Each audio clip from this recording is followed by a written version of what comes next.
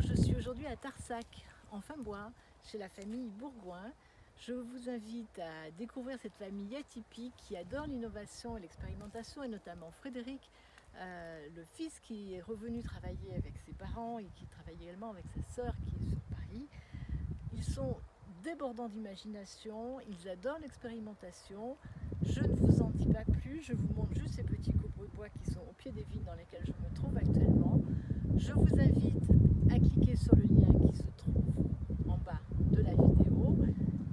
sur le blog. C'est à vous de jouer maintenant.